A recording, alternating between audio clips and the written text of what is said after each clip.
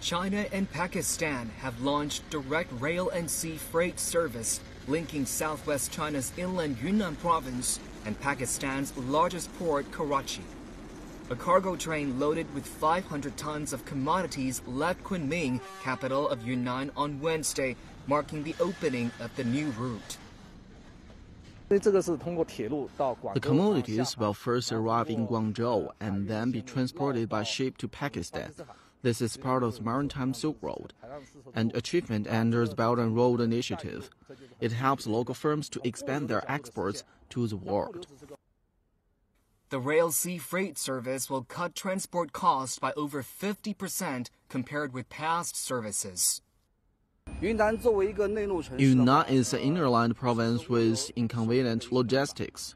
The Belt and Road Initiative has enabled enterprises with a goal to go global to participate in international competitions. The Road sea service has cut logistic costs by a large margin and could deliver commodities to our customers more effectively and efficiently.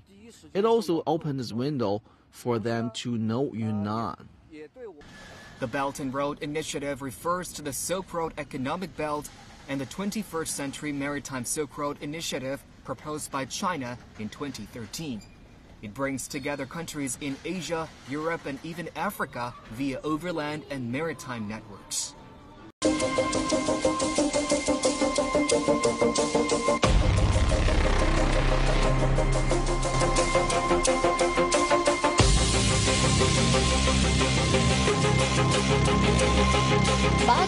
के रास्ते चीन की तजारत में रोज बरोज तेज़ी आने लगी। चीनी सूबे यूनान को कराची बंदरगाह से मिलाने के लिए चीनी रेलवे ट्रैक और सी पैक रूट का इस्तेमाल शुरू हो गया।